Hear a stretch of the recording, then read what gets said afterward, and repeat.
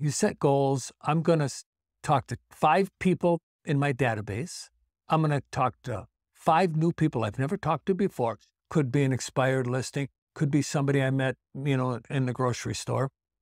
You want to follow up with at least four people during the day. You want to shoot two videos. Maybe talk to an agent from outside of Tucson. People want a, a destination city, so we get a lot of referrals. Okay, so you want to make sure you have those kinds of contacts. And when all that's done, you can go home when you're on a team.